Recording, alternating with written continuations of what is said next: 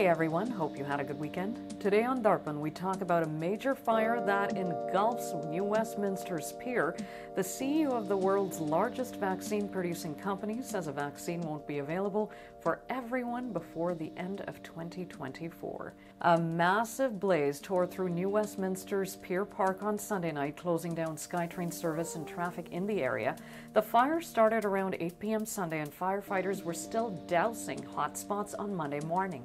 The park was built in 2009 and includes a lengthy boardwalk along a reclaimed pier just west of a SkyTrain bridge linking Surrey and New Westminster. New Westminster Mayor Jonathan Cote tweeted, Devastating fire in Pier Park this evening. Just spoke to our fire chief. We are receiving assistance from fire departments across the region. The fire is being contained to the old part of the pier, but it is likely the old pier of the park will be completely destroyed. No one was hurt in the fire, and Cote said the cause of the blaze was not known.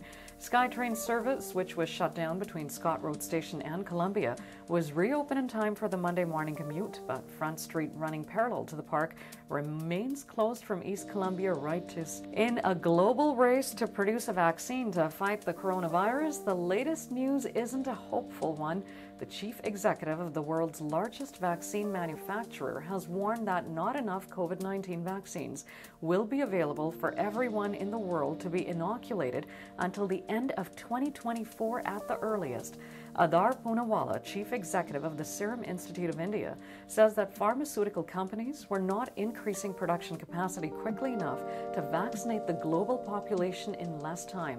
Poonawalla said it's going to take four to five years until everyone gets a vaccine on this planet, who estimated that if the COVID 19 shot is a two dose vaccine, such as measles or the rotavirus, the world will need 50 billion doses. The family run Serum Institute, based in Pune, has partnered with five international pharmaceutical firms, including AstraZeneca and Novavax, to develop a COVID vaccine and committed to produce 1 billion doses, of which it has pledged half to India. Poonawalla's assessment casts serious doubt on claims by politicians who have promised vaccines by next month, as concerns rise that large pre orders from the US and Europe will leave developing countries at the end of the line. The company is the world's largest vaccine manufacturer by volume, producing 1.5 billion doses of vaccines annually for use in more than 170 countries to protect against many infectious diseases such as polio, measles, and influenza. Follow us on Facebook, Instagram, Twitter, and YouTube. Like, share, and subscribe.